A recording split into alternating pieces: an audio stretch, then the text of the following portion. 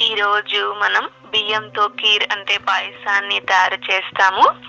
దీనికోసం ఒక లీటర్ పాలు తీసుకొని వేడి చేసుకోవాలి. దీనిపైన కొద్దిగా కేసర్ వేసుకోవాలి. ఒక లీటర్ పాలకి ఒక పిటికెడు బియ్యాన్ని తీసుకోవాలి.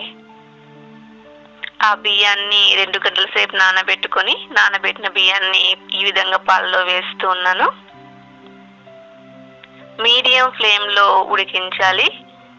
చూడండి బియ్యం ఉడుకుతూ ఉంది. ఇది ఉడకడానికి నలభై ఐదు నిమిషాలు పడుతుంది.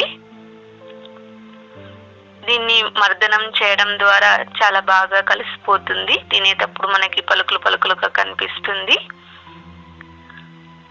ఇలా కొంచెం మర్దనం చేస్తే సరిపోతుంది.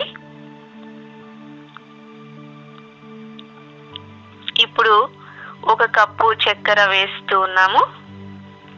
దీన్ని బాగా కలుపుకోవాలి. కొంచెం యాలక్కిల పొడిని వేస్తూ ఉన్నాను. ఒక చిన్న బాండిలో నెయ్యి వేసి ఇందులో డ్రై ఫ్రూట్స్ అంటే జీడిపప్పు బాదం పప్పు ద్రాక్ష ఇవన్నింటిని కూడా వేసి ఫ్రై చేసుకోవాలి. ఇప్పుడు దీన్ని ఇలా ఫ్రై చేస్తూ తయారైనటువంటి బియ్యం కీర్ని సర్వింగ్ బౌల్లో తీస్తూ ఉన్నాను. దీనిపైన డ్రై ఫ్రూట్స్తో గార్నిష్ చేస్తున్నాను. చూడండి ఎంతో రుచికరమైనటువంటి బియ్యంతో కీర్ అంటే పాయసం రెడీ.